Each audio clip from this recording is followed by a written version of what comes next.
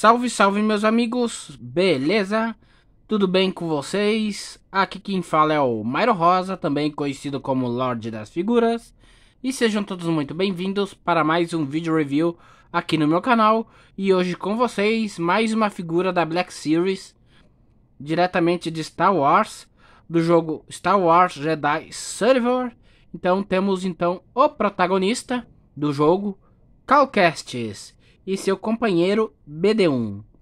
Então, antes de continuarmos com o vídeo de hoje, já conto muito com seu apoio, já deixando seu like aí no vídeo, ajude a divulgar meus vídeos e se inscreva no meu canal, caso você ainda não seja inscrito.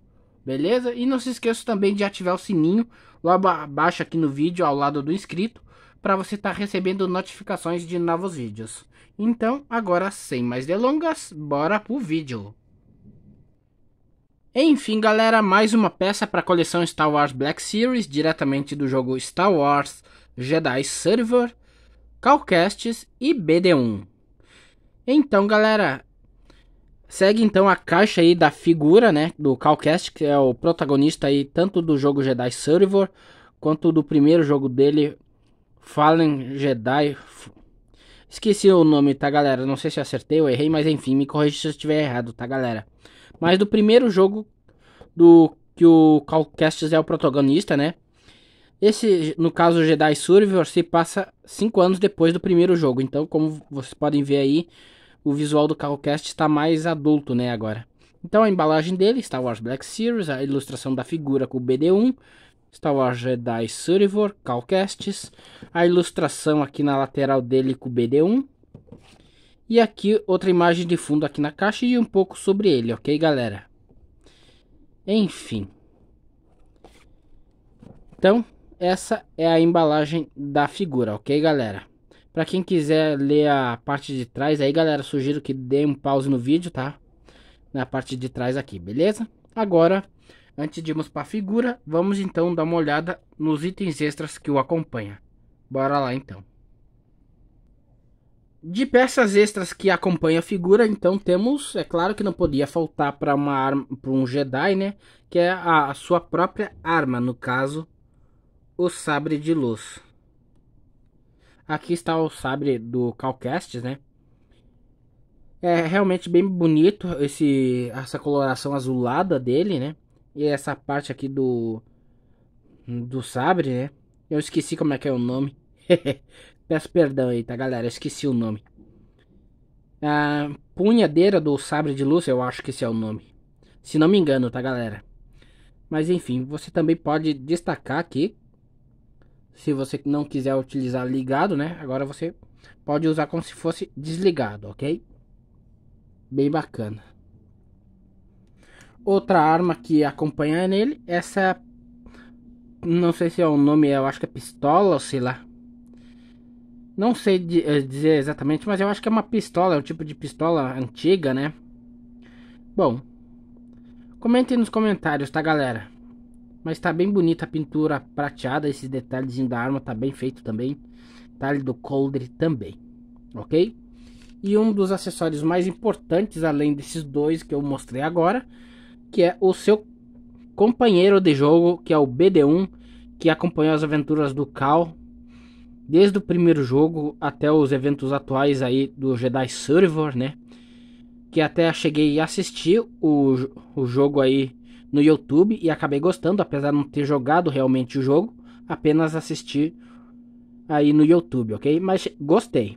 Espero um dia poder jogar o jogo ainda, ok?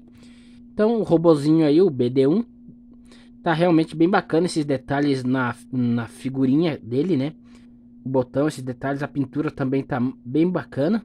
As anteninhas dele de borrachinha, inclusive. Bem bacana esses detalhes em vermelho na perna dele, né? Aqui atrás, também esse detalhe azul, ok? Quanto às articulações do BD1, temos então a articulação na cabeça dele, né? Que gera para os lados. Não vai muito para cima, nem muito para baixo, tá? Esse movimentinho aqui também para os lados. E é claro, na perna dele, dele, né? Para frente, para trás, né? Um pouquinho para fora, mas nem vai tanto. E a parte de baixo aqui da perna dele, né? Ou não sei se dá para dizer perna ou braço, mas enfim. deixa praticamente assim, ó, ok? Não tem articulação aqui no, na ponta aqui do... Que, não sei se eu acho que é pés, né? Mas enfim. Mas você deixa ele desse, desse jeito assim. Na coleção, ok? Agora que vimos o BD1, vamos agora para o evento principal, que é o Calcastes. Bora ver então a figura.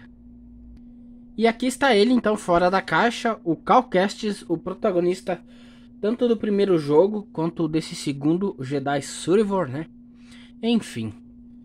De altura então temos na figura 15 centímetros, ok?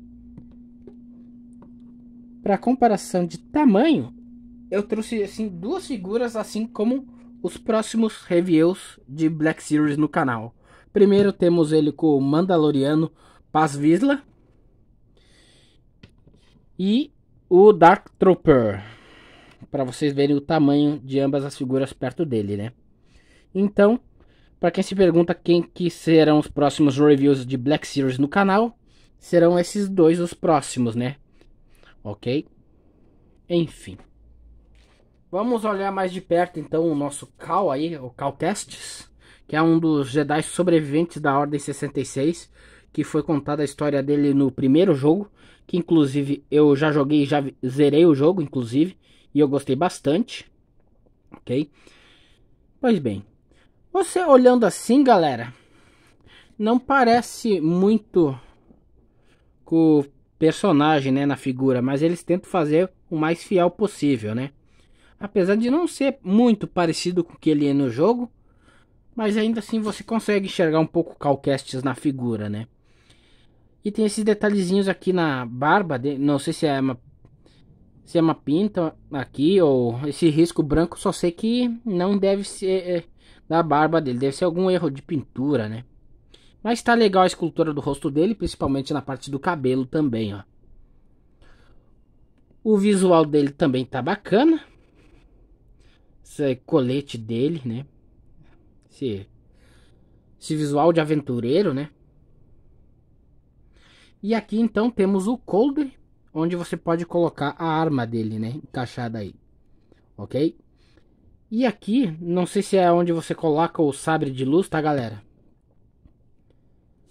Vou até desconectar aqui, para ver se encaixa ali. Bom, encaixou, mas não sei se é o modo certo aí de deixar o sabre de luz nele, né? Mas enfim, vamos tirá-lo agora. Tirar a arma aqui dele. E vamos falar então de articulações da figura então. Deixa eu só retirar aqui a parte das armas, ok? Enfim, vamos começar mostrando então na cabeça, a articulação então da cabeça ele mexe só um, um pouquinho para cima, não vai muito para baixo. Ele gira a cabeça para os lados tranquilamente, gira 360 graus. Perdão, galera, tive que dar um rápido pause aqui no canal, tá, galera, no vídeo, ok? Então, continuando, então, o braço dele gira 360 graus, abre 90 graus, tem articulação no cotovelo e tem articulação giratória no cotovelo também. Na parte da mão tem um movimento giratório e para cima e para baixo também por conta do uso do sabre de luz, inclusive, né? Ele tem articulação giratória aqui na parte da cintura, mas limitado, tá? Articulação limitada, também tem esse movimento aqui também, ó. Já nas pernas temos então um movimento para frente, para trás ele abre bastante para os lados. Temos a articulação giratória aqui em cima na coxa, como a maioria dos Black Series tem. Temos então articulação no joelho. Temos articulação giratória no joelho também. E por fim temos articulação no pé, que vai bastante para baixo, vai para cima, vai para os ladinhos também, ok? Então essas são basicamente as articulações aí do Calcastes, ok galera? Então, vou deixar o sabre ligado aí na mão dele, ok? Bem fácil de colocar na mão. Beleza? Então, tá aí. Cal pronto para combate contra o Império Galáctico. Então, antes de irmos para as considerações finais da figura, vou deixar ele então em algumas poses e em seguida voltarei mais nas considerações. Beleza? Então, bora para as poses.